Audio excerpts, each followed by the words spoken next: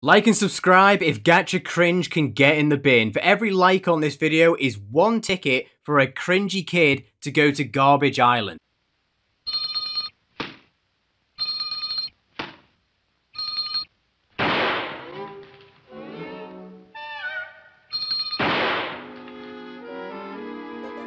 Excuse me, what? I suggest bright colours for homosexuals. It gives off gay vibes, you know? Any dull colours kind of takes that away, so I suggest not to use them. Okay, so if you're gay, you need to dress up in really bright colours. If you don't, then you're not gay. Okay, Gacha Kid. If you dress in anything dull, like black or blue, then it takes away those vibes, you know, those gay vibes. So, apparently we're looking here at how I guess you're meant to dress off based off your orientation of what you prefer.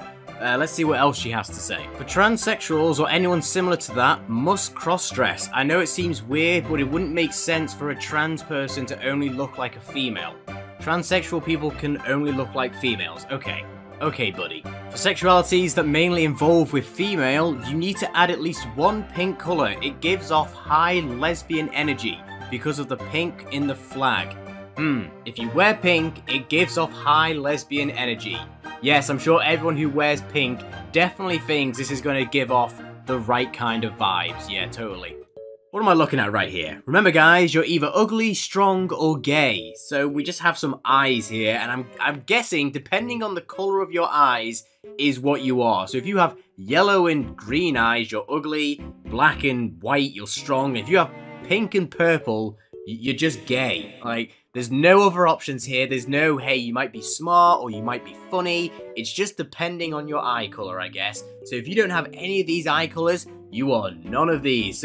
so unless you have purple eyes, you're not gay. So stop lying to us, okay? Because that's that's how life works, apparently. This girl, yeah, this girl. Okay, so here we have Elizabeth, and Elizabeth has a little PowerPoint for us. Let's see what Elizabeth has to say. Alright, today my students, we will be talking about the controversial opinions of spaghetti. Now, I've blurred the word out, but basically, the word is where someone wants to frick a dead body. And we can all agree that this is this is something bad. She's talking about something bad. We can all agree that this is bad. Let's see what she has to say. As a lesbian myself, I think spaghetti is totally fine if it has an innocent intention. Okay, you know, changing my pace a little bit here. I, am not ready to say get in the bin just yet, but I'm I'm lingering because I don't like where this is going. What if someone's widow or husband is stressed about their past loved ones? What if they just want to kiss it one more time like they did in the past? That's adorable. Get in the bin. There is nothing adorable about digging up a dead body and kissing it for old time's sake. That is, get in the bin. If people have spaghetti with it, then that's fine. I don't get why it's not. Spaghetti is very healthy for you and has a lot of benefits. Bear in mind that someone made this and thought it was a good idea. Where is this child's parents? I know it's not all the gacha community doing this, but what are some people doing in this community? What if a high schooler's beloved girlfriend passed away and just wanted to hook up with them for the last time? I don't understand why others with nice intentions have to be arrested. What would you guys do? Let me know in the comments if your partner said, hey, when you die, I might dig you up and kiss you. I mean, how romantic would that be? I hope this changes your mind about spaghetti, and that's why I fully support it in the LGBTQ as a lesbian. Yes, another thing the LGBTQ has to fight against people trying to be part of the LGBTQ because they want to dig up bodies of their loved ones and, you know, frick them. And say that's what people part of the LGBTQ like to do. Yeah, no, get in the bin. I think you didn't put enough research in. My last day of being a girl. I'm so excited. Ah yes, the last day of being a girl. I'm sure so many can relate to this because obviously the day after this, your melons, I'm sorry for the choice of words there, are going to suddenly evaporate and a sausage egg McMuffin is suddenly going to appear in places you never imagined. I'm going to be honest, I had no idea what to say here without it, without it sounding weird, but it wasn't as weird as this, so I hope you guys get the gist. How freaking insensitive can you be? Burn Victim OC Challenge. I, I don't even know what to say. Like, I'm pretty sure these kids, like, where, where are their parents? Like, if they were to open whatever they used to make this and saw this, I hope to God, like, they would actually send them to get some help, because this is just weird.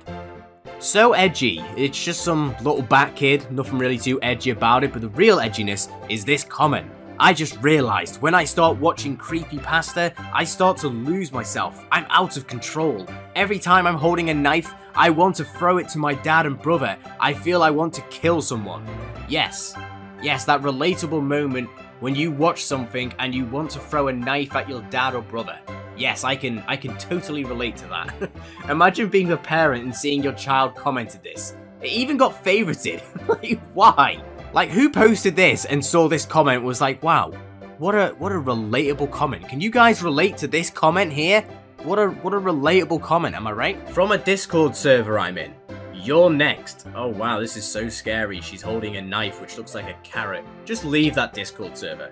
Put that Discord server in the bin and leave. And personally, let them know that I told them all to get in the bin for whoever posted this. Like, so bad. So we have this one here. I, it's quite a long paragraph. I'm going to read it out. I don't really know what's going to be in there. I have no words. Why? This isn't a joke. I am a Sayuma fan. I don't know what that is. Sayama is my life source. I'm probably saying it wrong as well. If you don't like Sayama, you are literally spaghetti, and don't even try to disagree. You're just mad that my femboys are in love, but stay mad, spaghettis. They're they're perfect. Did nothing. Did they're perfect? Did wrong. What? That, that doesn't. That hurts my brain. And on my Uwu Baby Boys, I started liking them after I read a 45 page yaoi about them on Patreon. Now, I think I remember what yaoi is, and it's not very good. So please respect my decision of coming out as a Fujiyoshi. I, I butchered it. A Sayuma shipper and a Danganronpa fan. This is really hard for me. Thank you. Now, I'm pretty sure I know English, but I have no idea what I even just said then. I butchered most of that. It's like, can anyone explain what really any of this stuff actually even is? Women rights vanish. This is why I'm a McMuffin. It's because of you I will get rid of your natural rights. Women don't deserve rights. Why do Gacha kids make this? Do they think women's rights are going to suddenly disappear? If so, then all female gamer virgins are banned from commenting on my videos. Try and see what happens. I don't make the rules, I'm sorry, but Gacha kids apparently do. You're not mayonnaise, yet you're anti-Mexican and white. So here we have like a Discord server. I didn't even know they had Gacha Discord servers, but apparently you know it's LGBTQ, Gacha, Gacha Life, Gacha Heat, God, Gacha ERP. I don't really know what that is. Hello, we offer you a nice and friendly community. Fun these bots to play with. What? Roleplay channel? Gacha Heat Images channel. What? Anti-Mexican, anti-white and many more. Join us now, not mayonnaise. Okay, I really, I, I honestly had no idea that there were even Gacha Discord servers, but like, this doesn't make any sense. It's anti-Mexican and anti-white, yet you're not mayonnaise. Like, what? Join this server? No thank you, get in the bin.